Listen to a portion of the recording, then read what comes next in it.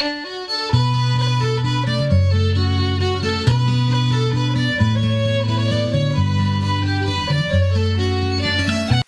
everybody, this is the first of hopefully a few videos I'm going to be doing. Uh, I recently purchased a revenue cutter kit from Blue Jacket Ship Crafters up in Searsport, Maine. My weapon of choice model ship company made in the good old USA. Uh, let me zoom in on this guy.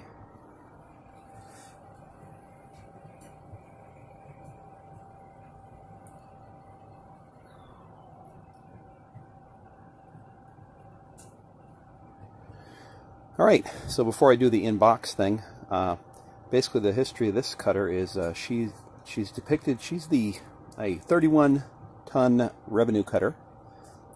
Uh, this is based on drawings by Howard Chapelle. And if you're into model ships and you don't know who Howard Chapelle is, you probably could pick up a couple books.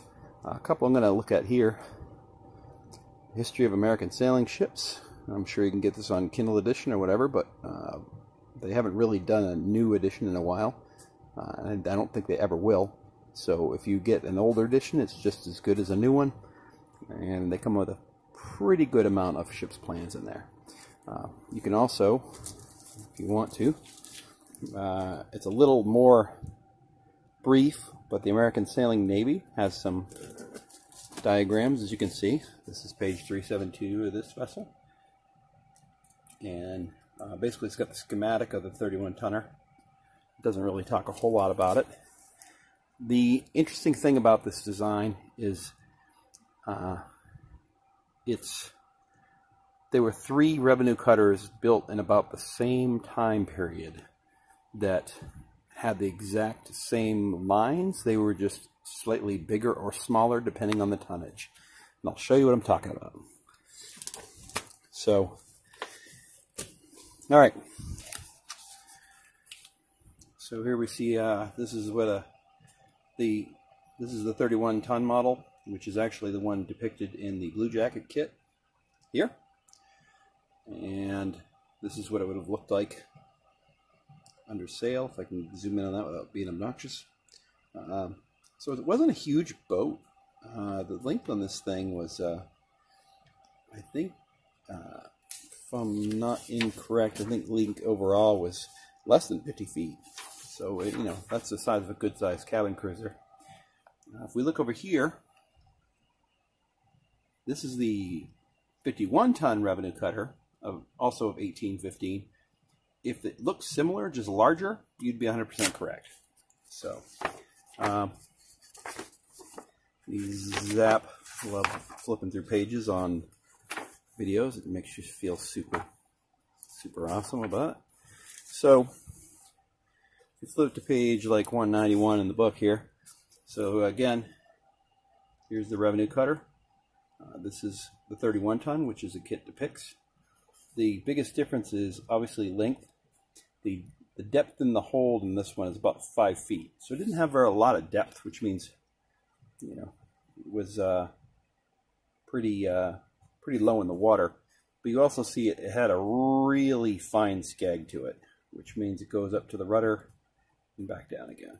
So uh, if you flip over, these are the line diagrams. Let me just flip it around here. Line diagrams of the, uh, this is the uh, larger one, the 51 ton. And realistically, the differences between these cutters were really just size. The depth of hold for this one is six feet. The other one was five feet. This one's about 56 feet long, vice uh, 50. Then we get to uh, the largest of the three uh, identical drawings, and we see that this is a 80 tonner. Now, uh, depth of hold on this, sorry, is six foot nine. You also notice that the skeg is not nearly as defined uh, because it's slightly longer and it draws a little more water, the skeg is not nearly as uh, as defined. Basically, the if you look at the the breath diagrams, you'll notice that you just don't have quite the the flare in the back as you would have uh, the other two models. Again, you take a look at that. If you look at the way the stern is all the way to the keel, it has a, a really big tumble home on the keel. Zoom in on that a little bit. So that's going to be fairly important in creating your model of this particular cutter. Now I've kind of got that out of the way. There are other manufacturers that make a very similar kit. There's one by uh, Amati, I think there's one by Mamoli, but uh, depending on which one you get, they both say that they're in like 148 to 150 scale. So I think they are basically models of different size cutters because one of them is listed as the Cutter Dallas. And if you build it, you'll notice it's, it's significantly larger than this model would be. But I believe that model, the Dallas, is the 81 tonner. The Amati one, I think it's just listed as revenue cutter. Sometimes it's listed as revenue cutter Ranger. Uh, that cutter, I believe, is the 50 tonner. And this will be the smallest of the three. So without further ado, I have not opened this box yet, but I have seen this kit a few times. So as always, with Blue Jacket kits, you get a incredibly inclusive building manual. And uh, this one's got some got some heft to it. There's some stuff in here. So it says the, uh, the official listed scale for this is 148, which is one quarter scale. It's based on the William Doughty design, 31 foot cutter, 31 ton cutter, sorry. But check this out. So this is from Nick. And Nick says, basically, if you post this stuff to Model Ship World, he'll give you a little discount next time. It's good through at least 2020. I don't know. Nick's not that young, but he's definitely going to make it through 2020. Uh, so I don't, I don't know why he put a end date on that. I'm sure he'll go longer if you ask him. Um, so basically, there's the uh, guarantee for all these Blue Jacket kits. Uh, Nick is the guy that I go to uh, for advice on these kits. He's super approachable. He's always on Model Ship World. I love dealing with people at Blue Jacket. And uh, again, talks about paints. So anyway, uh, they they have kind of a, a, folksy way of describing things and methods. So uh, regardless, I think you can definitely uh, get a lot out of this. Uh, Charlie is the guy that pretty much designed the kit and got it ready for, for manufacture. He's one of their uh, their prime builder guys. He looks grouchy, but he's actually super friendly. And the other person you might deal with is Trish. This is a shout out for Trish since she asked me to do this video and gave me a slight discount. Not going to lie, but uh, she's super approachable. She handles a lot of the business admin stuff. Now, if we look at the kit, basically talks about building the cradle, doing some of the other ancillary things. Uh, so it's kind of a, a blow by blow, but unlike other ship models, which kind of just gives you like really hard to look at schematics, this is giving you an actual photo of what these pieces should look like after they're completed. So it, it's nice the way they did that. Um, again, each each one of the callouts talks about the notes. Run HP line cake up beeswax, prevents fuzzies. Uh, pretty much uh, any tips and tricks they have are going to be helpful in the general overall build. So, and of course, the overall parts list. Uh, this this revenue cutter does not have that many parts, so it should not be a daunting build, even if you're a first time uh, first time vessel builder. The so if you look in the and I get that done, you get this big kind of thing of wrapped up paper. It is not just packing. This is actually the hull. So if you're one of these people that likes to flip through a box and just start throwing away packing material, just know you could be actually ditching the majority of the model. Uh, this is a solid hull kit. Sorry, I'm trying to do this one-handed. Reach in here. And I will ditch that. So, that being said, solid hull. Uh, if someone breaks into your house, you could easily use this to bludgeon them, probably to great injury. But uh, the deck is really flat, and that's actually the way it's designed. The uh, the rudder hole, the skeg hole, all those are lined up. Uh, the only thing that, if you look at it, if you look at the stern, and you think back on the diagram I just showed you, the stern really, you're going to need a lot of sanding to get this to uh, mimic the way the actual ship looked in the real world. So you're going to have to do a lot of uh, sanding or shaping. Recommend, uh, you know, there are plans in here and you can actually kind of use a pencil to uh, draw out the diagrams as far as how thin or thick this needs to be. But you're definitely going to have to whittle this thing down quite a bit. Now, if you don't, will it still look like a great ship model? Absolutely. Will 90% of the people on the planet know the difference? They absolutely will not. So, but if you're like most ship modelers, you will know. So, and that'll bug you, bug you to no end. So, all right. Now, being that the uh, company's from Maine, they have uh, no phobia of providing you with huge quantities of paper plans. You get the normal copyright notice. And again, that's what it looks like. It's very basic. Uh, this is a this isn't it's an ensign build, but it's a slightly higher ensign build. But what's really nice about this is it's one of their more modern kits. So they've done a lot of laser cutting. Uh, and the other nice thing is because it's a fairly easy build, you can try some different techniques on this kit to maybe dress it up a bit. Like, for instance, this says that uh, the hull and rudder below the waterline are copper. Well, they were copper, but they were the typical copper plate of the time. So if you want to be fancy, instead of just painting it copper, you could try your hand at, at uh, laying copper, uh, basically anti-fouling plates on the bottom to make it look really nice. So anyway, that is the plans. I'm not going to flip them all out on you because, like I said, I'm doing this one-handed, so I'm having a heck of a time with this phone. Anyway, Britannia fittings, all vacuum sealed.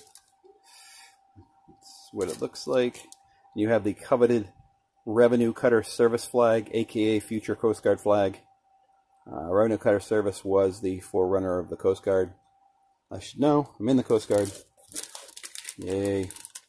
Shameless self-plug. Uh, they use some high-quality line. I re always recommend beeswax, but the way this line uh, operates, you probably could get away with not, but if you're going to do it anyway, why not? Um, various dowels and mass and spar material. This is uh, kind of the piece de resistance in my mind. You can't really see it because it's flipped around in the bag. But if you look at the way the deck is done, you can kind of see it. It's all laser cut in place, but in addition to the laser cut, it's got the actual deck bungs laser cut out as well. So it's a really slick with how this is done. This deck is amazing. And you put a little bit of stain into this, leave it its natural wood color, and possibly use uh, some highlight color on the deck planking itself. This thing will pop and look amazingly complicated and not be that complicated. Uh, the laser cut parts are fairly standard fare, except for they're really, really sharply done. So some of the older kits, you'll see the laser cutting is not as good.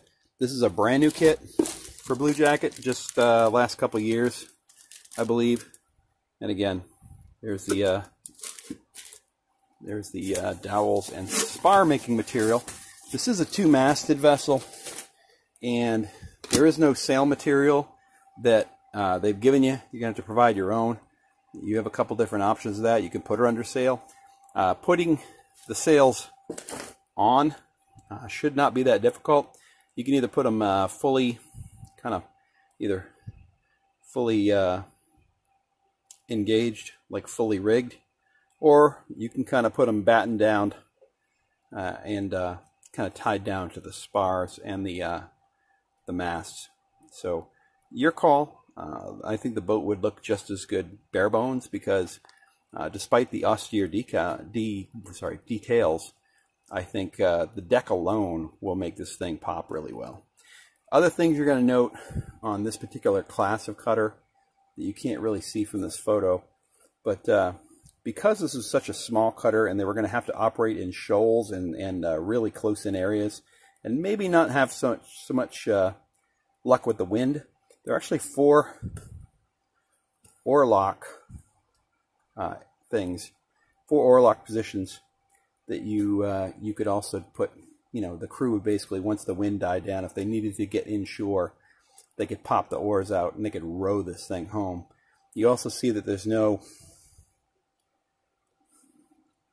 there is no uh, built-in rail or fife rail or any of that stuff. Uh, basically, that was to uh, kind of allow the crew to uh, row easier and to cut down on the weight of the vessel. Uh, this thing would, if it had a solid bulkhead or a solid uh, taffrail, it would have been very top heavy. Now, with that, though, you still needed, they call them buckboards. The buckboards would have been around the uh, the jib and the and the uh, bowsprit. Those uh, basically were to keep water basically from splashing over the front of the vessel. And of course, you've got some other accoutrements like the uh, you've got the uh, cook stove pipe, and of course you've got the uh, 360 swivel gun in the middle, which was a, a can cannonade. There are a lot of historians I've talked to, and this is my own personal research. Uh, pretty much the revenue cutter service, uh, much like the Coast Guard today, didn't have a huge budget. So whatever they could find for armament and ordnance, they would use. This was anything from no guns, so uh, the kit actually has a, a, really nice, you know, the, the cannonade itself is a, is a kit onto itself. It's got some really good details. But uh, if you didn't want to put that on there, uh, obviously the you can kind of zoom in on the rings there. The the rings on the deck would have would have been there anyway, or they would have mounted a uh, maybe a six pounder or three pounder on this position. But the historians say that a lot of these vessels didn't carry any uh, large armament. They would have carried uh, smaller, like falconets or swivel guns. The swivel guns would have been mounted on maybe some of these handrail posts. So if you don't, if you want to make a super accurate revenue cutter, you can pretty much put whatever you want in the middle. In the absence of a, of a gun in the middle, you could also get yourself a nice like 148 scale uh, uh, small boat, like a captain's gig or a jolly boat or a uh, just a small, uh, some kind of boarding boat that the Revenue Cutter Service would have used to uh, board vessels at anchor or vessels at sea or vessels coming into port. So I'm going to do one more. Sorry about it. I'm going to try and get.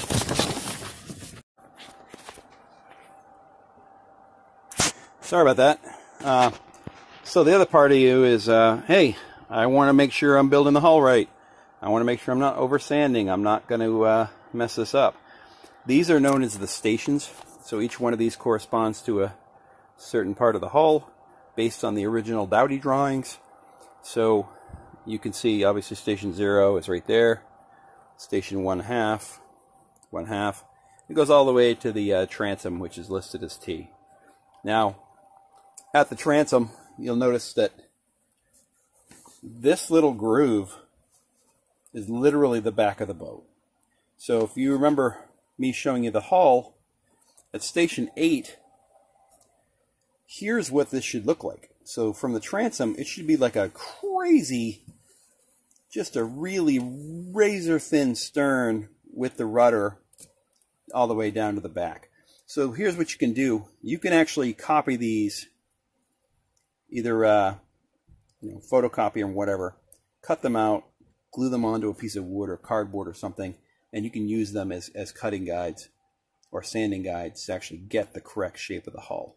So between 8, if you go to 7, you can see how it, it flares up a bit. So at 7, that's the station at 7. And uh, basically, you would transpose all of these onto the hull of the ship. all party grog, me jolly jolly grog,